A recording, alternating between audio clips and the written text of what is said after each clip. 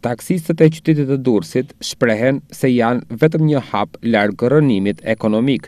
Shumë prej tyre bëjnë me dije se kanë vënë njoftimin shitet në xhamat e automjeteve të tyre. Shkak për këtë është bërë konkurrenca e pandershme. Sipas tyre, numri i taksive që operojnë pa licencë në rrugët e Durrësit është më i madh sesa numri i automjeteve të licencuara.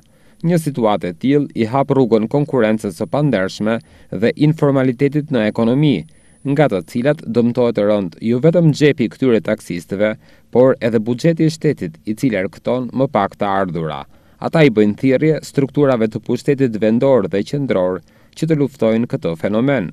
Do të fillojmë me një shprehje popullore që thonë të vjetër u qam prej shiut e na erdhi breshëri. Sepse ne jemi një biznes i vogël që punojmë me letra, me taksa, me të gjitha, që i paguajmë shtetit çdo gjë. Sikur një letër unë me mos i pagu shtetit, një ditë me kalu, 100.000 lekë gjobë. Ha.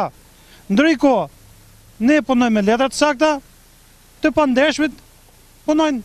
Ata punojnë, ne rrimë. Nuk kemi përkrahje nga policia bashkiake. I themi policisë shtetërore, e kanë bashkiakët. U thu bashkiakët i merr n'telefon, s'dun me dit fare, nuk ekzistojnë, sidomos për këtu në Durrës, flas për mendimin tim, nuk ekziston fare. Konkretisht unë personalisht e kam bën një telefon dje policisë bashkiake, sa kaloi i pa nuk kemi ç'i bëjmë se nuk kanë reklama sipër. Ata rrinë anësore, hapin dyert edhe punojnë. Kurse ne rrimë thatë këtu, duke paguar taksa çdo gjë shtetit. Nuk kemi mbrojtje, troç. Nuk kemi përkrahje, nuk e di se ç'a do bëhet. Ne votuam këtë shtet për të pasë një mirëqenie, një shtet të rregullt, që çdo gjë të punojmë me letra, t'punojmë saktë, po jo kështu rrëmuj. Ne punojmë ata, ne rrimë, ata punojnë.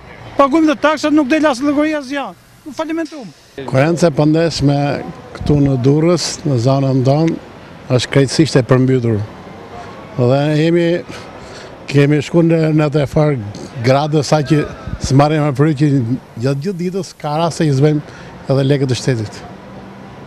Rrezikoni falimentimin? Jo rrezikojmë po jemi krejtësisht falimentum dhe po rrim kot fare këtu.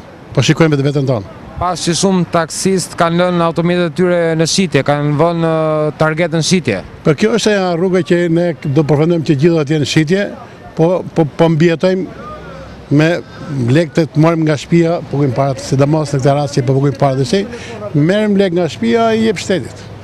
Se shteti këtu nuk funksionon fare, fare, fare dhe fare.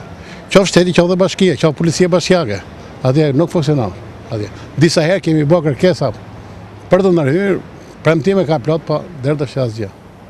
Nëse informaliteti është shkaktari kryesor që dëmton biznesin e tyre, nuk mund të lihet pa përmendur si një tjetër faktor negativ edhe fuqia gjithnjë e më ulët e konsumatorit durrsak për të tillë shërbim. Taksistët e licensuar nënvizojnë se viti dy mijë e pesëmbëdhjetë ka hyrë me humbje të mëdha për ta, të paktën duke gjykuar nga ecuria e tre muajve që sapo lamë pas.